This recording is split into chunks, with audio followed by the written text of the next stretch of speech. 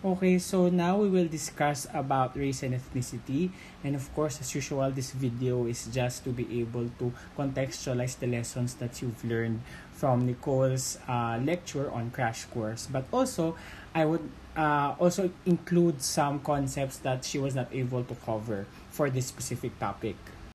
Now, of course, the crash course video has given you the accurate um, definitions of race, uh, being the biological traits that are used for social categorization on certain traits that are uh, deemed by society as important. And usually, this is the color of the skin. In the Philippines, racial stratification isn't as um, widespread or as emphasized as in Western countries such as the United States and some parts of Europe. But in the Philippines, we do have what we call colorism. And colorism basically is the prejudice and judgment that we attach to people uh, because they have certain skin color. And in the Philippines, we highly value skin colors that are fairer uh, compared to those who are darker. However, that issue isn't as institutionalized and as ingrained into the oppressive structures of society as compared to what we see in racial um, discrimination in America. Next, uh, Nicole was also able to define about ethnicity, and this is about the social stratification in relation to the cultural heritage of the persons being categorized. And in the Philippines, our basis for uh, ethnic groupings or ethnic categorization is based on ethno-linguistic groups or we usually um, categorize ethnicity based on the type of language that they use. And in the Philippines also, we have what we call multiple identities. We have multiracial identities, like for example, uh, Chinoys or the Filipino Chinese. And we also have transnational identities, like for example, um, uh, Phil Americans. Also, in the video, uh, we were able to learn that certain racial or uh, ethnic categories are regarded as minority groups in a given society.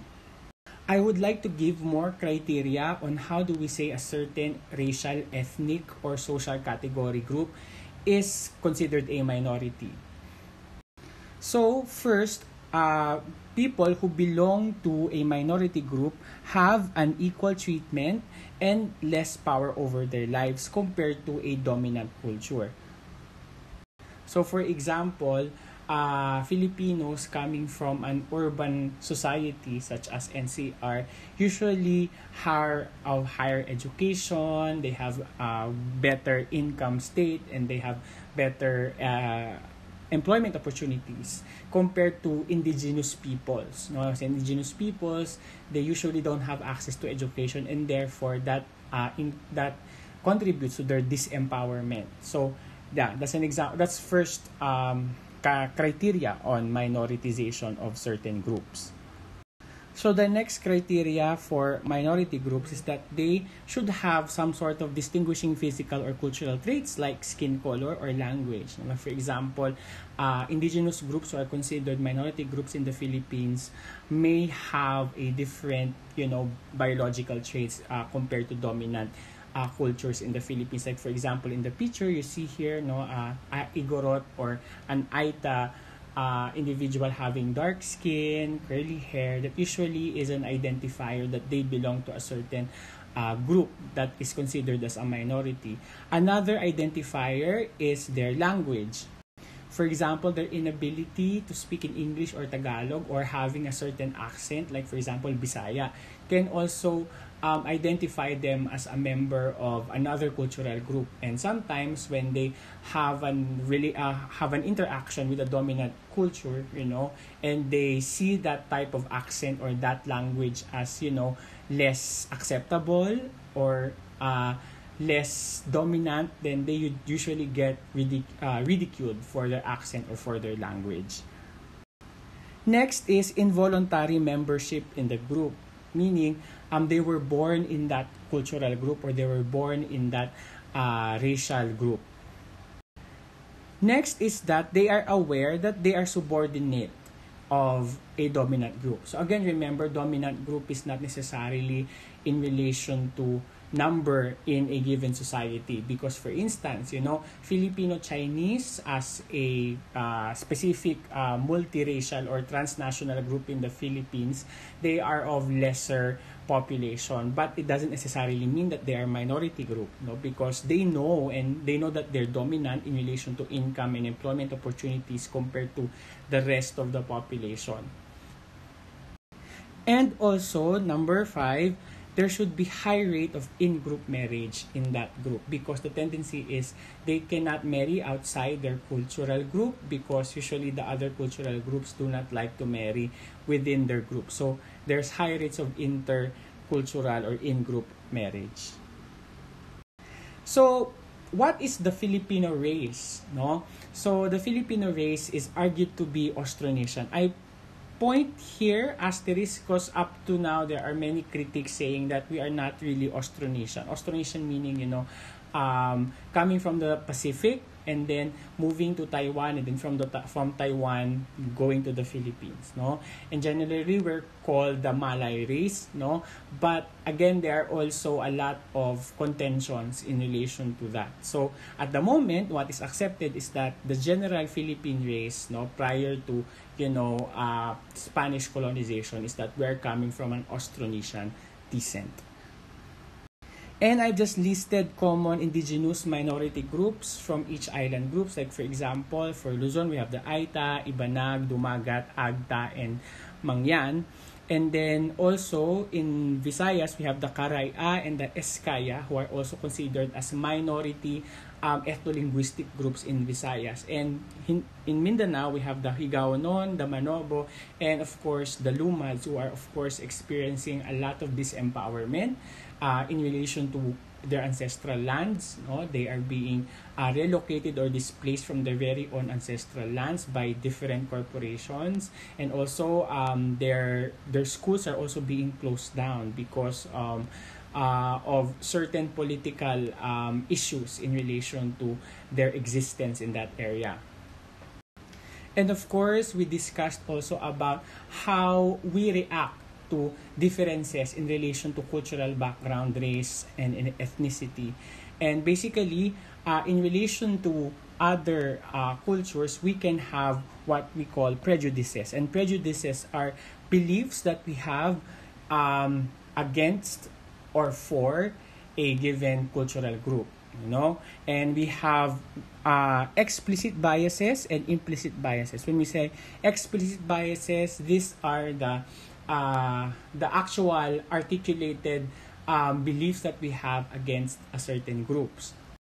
Like for example, probably your belief is, ah, yung mga indigenous groups natin, wala silang pinag-aralan, they don't know much, or they're not educated. So that's an articulated explicit bias.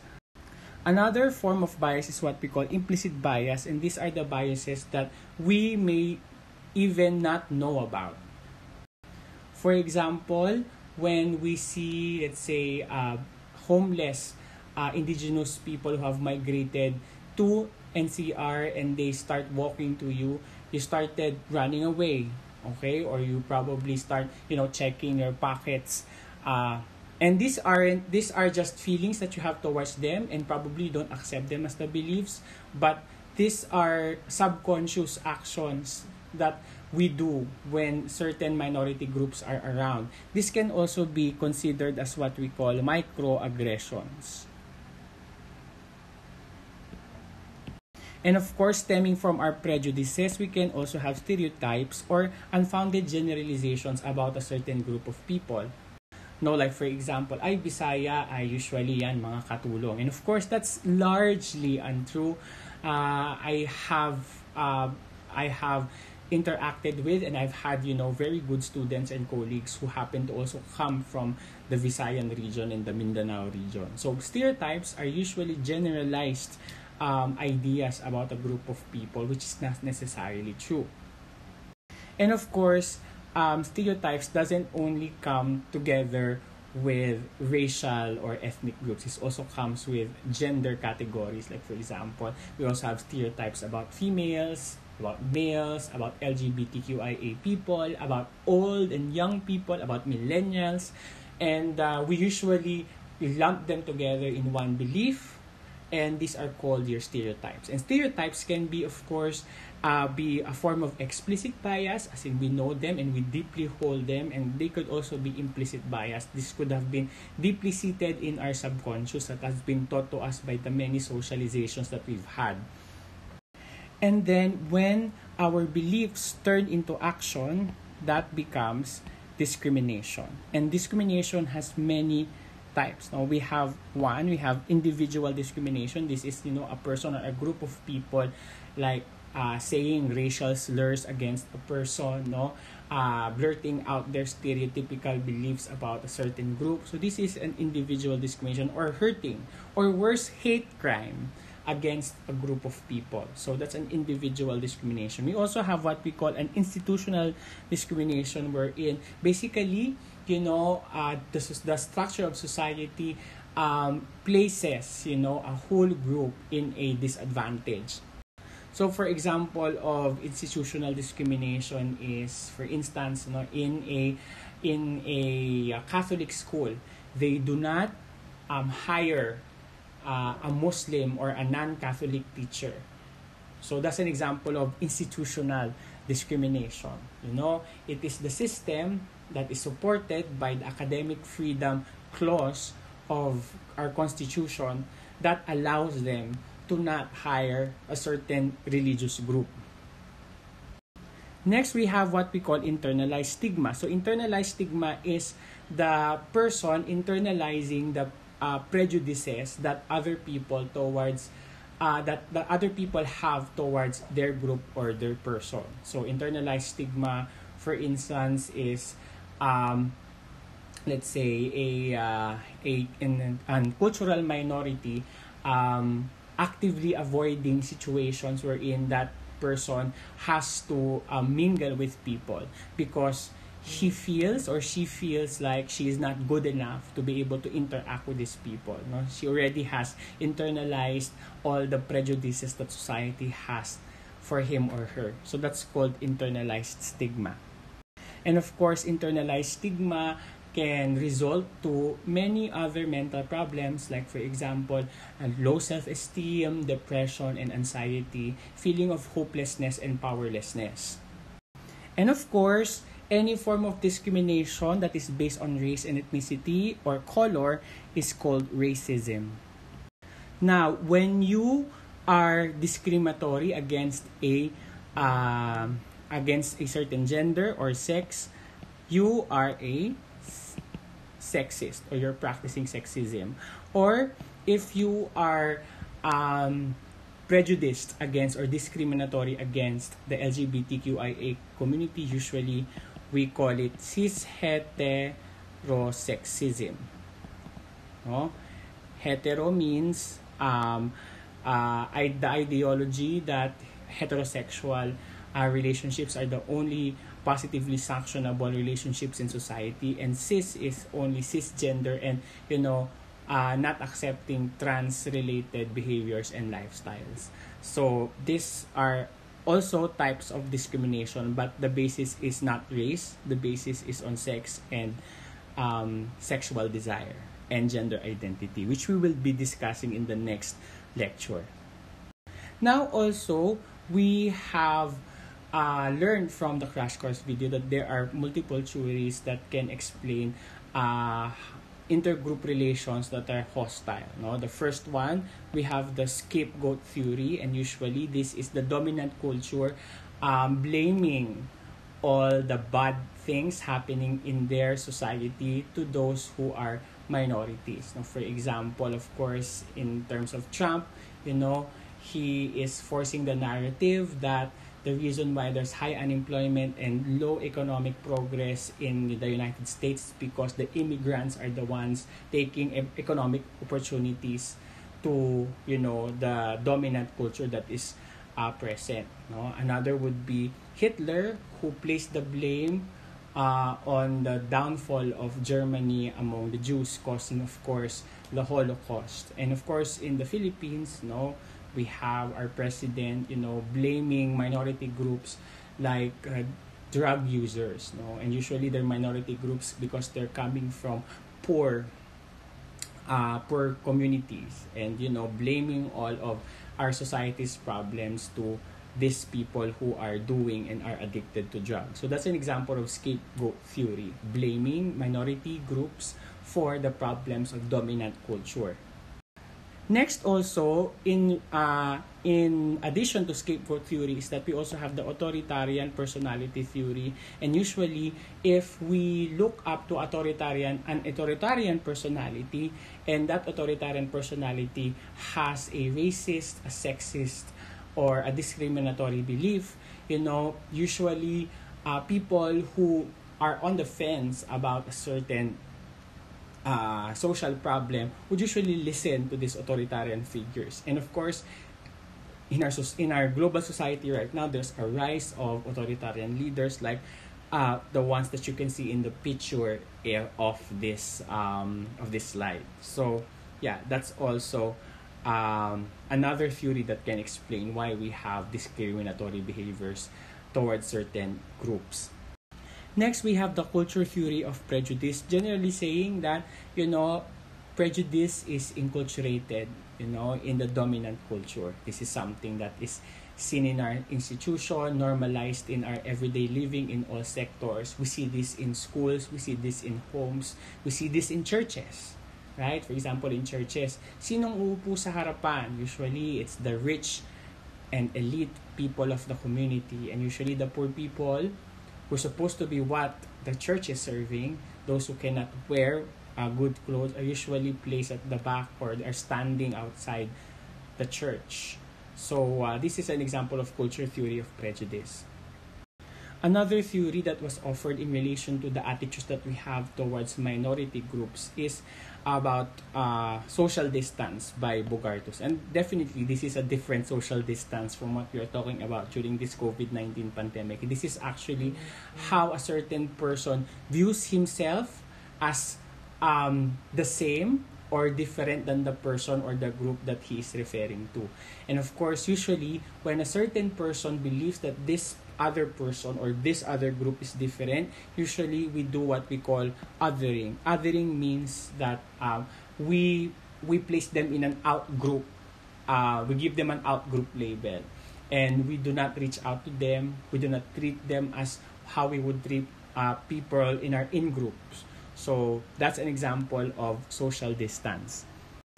And then, of course, you know, we have conflict theory that explains that there is that uh, usually there is racism, there is discriminatory behavior because it is the uh, attempt of dominant cultures to um to maintain their center of power and the resources that they have within themselves.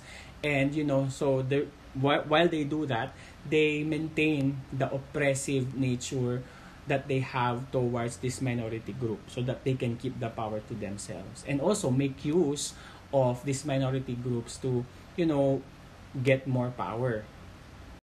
Now, can structural functionalism help us in terms of um, explaining why there's racism and discriminatory behavior?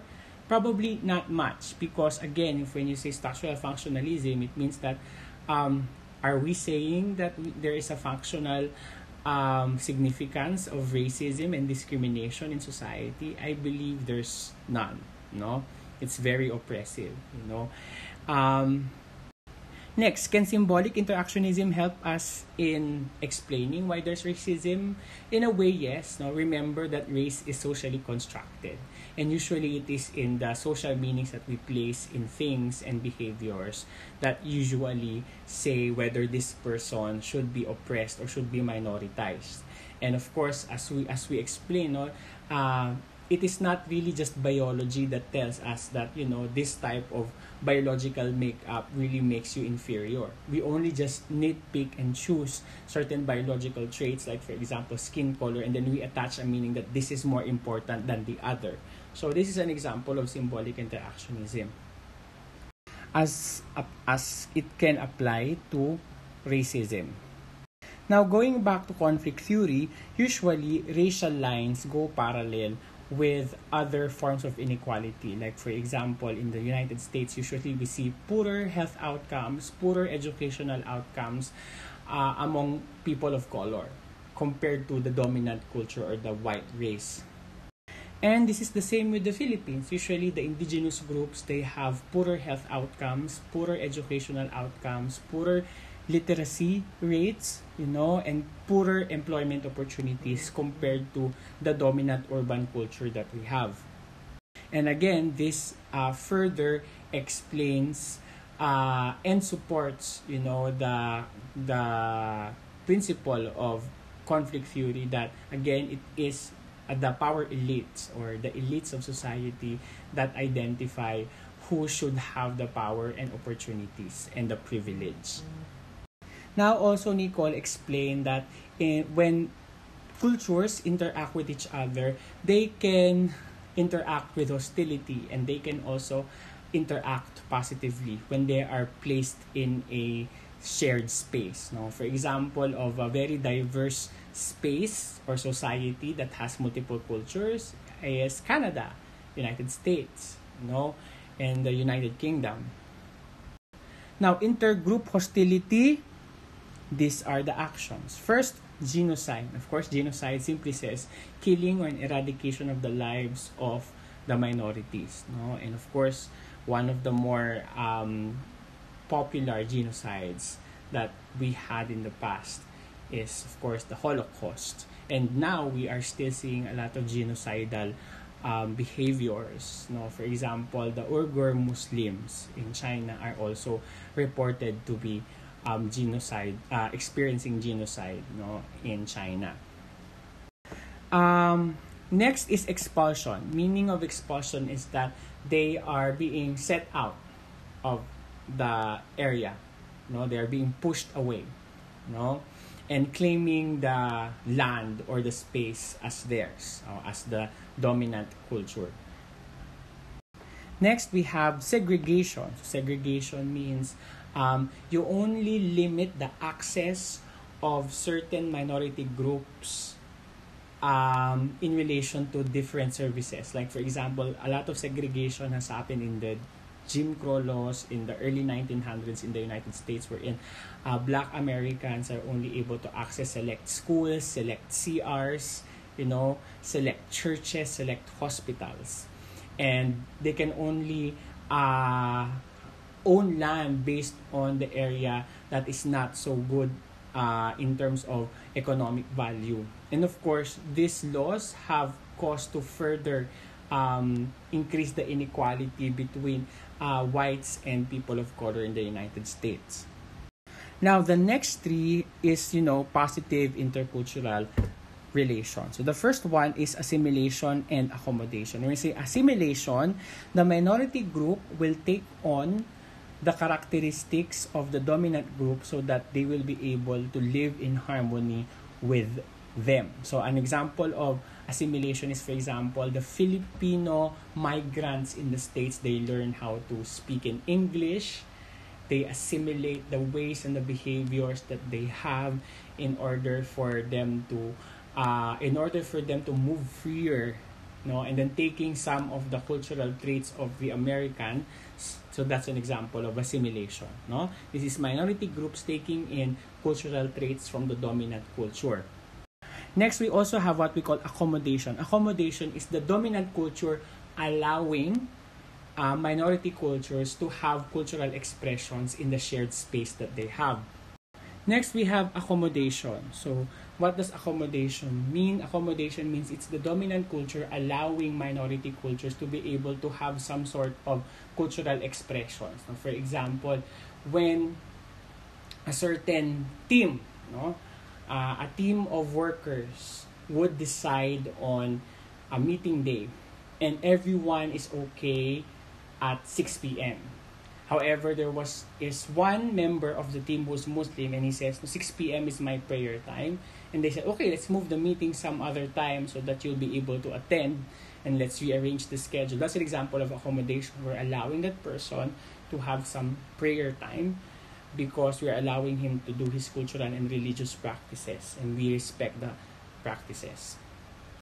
Next, we have pluralism. When we say pluralism, this is when, you know, cultures coexist with each other and they, no one is um, batting an eye whether that, um, that culture is there doing their cultural practice. They're being, every culture is allowed to flourish, you know, and keep their unique identity when we say amalgamation, this is the what we call the melting pot. This is all cultures coming together forming one holistic culture. And of course that's also a little bit problematic because in amalgamation, some cultural traits of certain minority cultures are usually given up so that they can have one shared culture. So usually the more acceptable uh, intercultural relation is more on the pluralism, wherein we just let the other cultures be as long as it doesn't um, hurt the law of the land and hurt other cultural groups. Now, from racial stratification, let's move to age stratification. So, another way for us to be able to uh, categorize people in a society is through age. And of course, we give lots of meaning based on uh, the age of a certain person. And currently, we have uh, different generational cohorts that are sharing a space in society.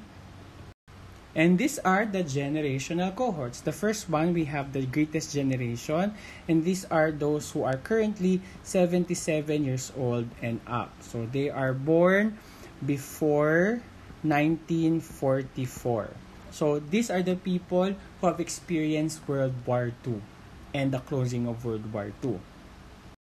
Next, we have the baby boomers, and the baby boomers are now 56 to 76 years old as of um, as of 2019, and they are born between 1944 to 1964. So, what are the historical events that influenced uh, the lives of baby boomers, syempre, is the rebuilding of the different societies after World War II. In the United States, they were also able to experience the liberation of uh, black Americans. Uh, they're also able to experience a lot of economic prosperity. They're able to own and make use of lands and different types of technologies were already being forwarded and furthered during that time. So this is the uh, historical climate that shaped who the baby boomers are. So that will basically help us why they have a uh, they have a general attitude that they have right now.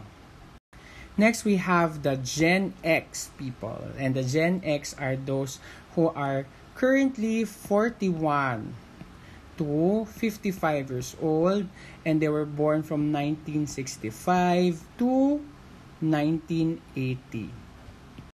So during this time, they were able to experience, you know, the hippie movement. You know, they're also able to experience disco. They're also able to experience a lot of increasing globalization, you know, and this was also the birth of television, etc., etc.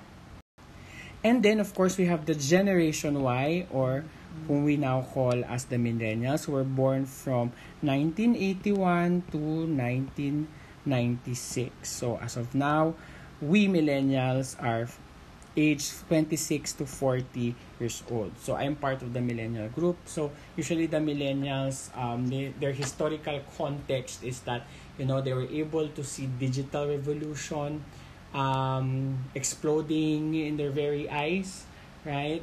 So and of course increasing connectivity uh, with the rest of the world.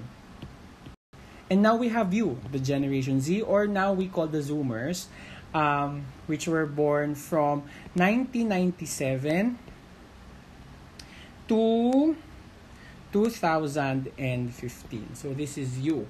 So for the Generation Z people, no, uh, you weren't born in a world without internet. So you were born in a world na may internet na. So you cannot imagine a life without internet. And of course, we have after 2015, we have now the Generation Alpha, the kids. Um, and of course, they will have a different characteristic based on the historical contexts that they will be exposed to. And probably this COVID-19 pandemic, this will also influence you, Generation Z people and of course us millennials because we are going to, you know, accept the economy, whatever it's left of it after COVID-19 is done. So, these are the different age stratifications in society and the generational cohorts that we have. Remember that the generational cohorts might not be the same with other countries. Like for example, the experience in categorizing the greatest generation, baby boomers, and Generation X may not be the same for other countries. Like for example, those who only got their independence recently might not have the same experience as those who already had their independence since the end of World War. So I think this one is a little bit arbitrary, these three no based on which country or which society we're looking at. But generally for millennials and generation z because of the increased interconnectivity of the internet and increased globalization we can say that all over the world this is uh, this grow uh, generational cohorts are usually shared. Now as explained by nicole aging is also a very important phenomenon that affects most of the developed world. But the way aging affects the developed world like america isn't the same as how it affects us in the developing societies, such as in the Philippines. Now, first, in the Philippines, we do have an increasing life expectancy. So, when we started in the mid 1900s, our life expectancy was 60 years old. But in the 2000s, our life expectancy is now 70 years old. So, there is an increasing life expectancy. But compared to developed countries, developed countries like Japan, Korea, their life expectancies is 80 years old. So, mas mababa pa tayo. However, our society is not yet ready to take care of a graying population as of the moment. We are still building that system. I'll explain that later. Another uh, another rate that of course defines the graying population is the general fertility rate the general fertility rate in the Philippines when we started in the 1960s no was 8 per female in the Philippines. Ang dami, no? But now we are in 2.5 per females in the 2000s. Now, this is still relatively higher compared to developed countries, you know? In in some European countries that are very rich, the fertility rate is less than 1 So, usually, uh, in developed countries, females usually delay childbearing or do not go through childbearing at all. And therefore, in the Philippines specifically, we are not just dealing with aging, we're also dealing with a really uh, big base in our, uh, in our population pyramid. No? Sabihin, we have a lot of old people. We also have a lot of young people. So we are carrying both burdens in our society in the Philippines.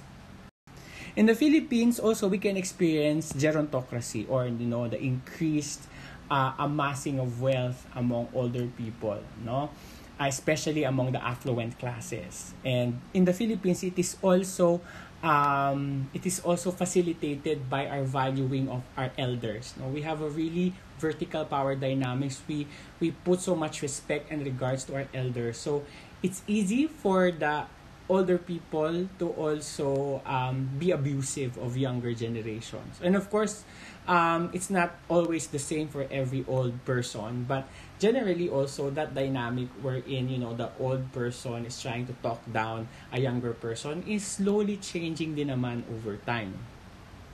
Unlike developed countries, you know, retirement in the Philippines is such a sad thing to talk, talk about, especially for poorer families. You know, usually um, a lot of those who retire aren't really ready for retirement, and really retirement pushes them to more poverty in the future. And also, they have already poor health, so once they get hospitalized because of chronic illnesses, they usually don't have enough money for them to be able to uh, survive, you know. And just like other countries, um, the aging population also take the caregiving roles of their younger generation. So, for example, usually si lolo at si lola, they would take care of the grandson or the granddaughter when their son and daughter is not around. And also, unlike developed countries wherein they already have an industry that is specifically catered to gerontology, to older people, um, like, you know, like uh, elderly care, you know, or, uh, aging homes, in the Philippines, we don't have that as much yet. And also, there's a cultural barrier to that because, again, there's always that responsibility for the younger population and the younger generation to take care of the older population. So usually we shun against placing our older relatives to an elderly home because that means that we are in, ingrato, no, we are ingrates to the sacrifices of our parents or our grandparents. And uh, that's the reason why, you know, elder homes have not been making waves in relation to you know having its own industry in the Philippines compared to the United States or United Kingdom. And of course, you know, death. And I think uh, the experiences of death as explained by Nicole is also similar to the Philippines. But I'd like to also introduce a term we call bereavement. And bereavement means it's the culturally sanctioned way of, you know, dealing with a death. You know, so in the Philippines, we have many superstitions and practices in relation to funerals, and also other other countries and other religions also have their own way of celebrating and mourning uh, the death of their loved ones. So, in this video, we were able to learn about race and ethnicity, and we're also able to learn about, you know, how minority groups are treated in a society and the theories behind it. And also, we were able to contextualize all these concepts in the Philippine society. And, and also, we were able to learn about age stratification, and we were able to contextualize um, how aging is in the Philippines.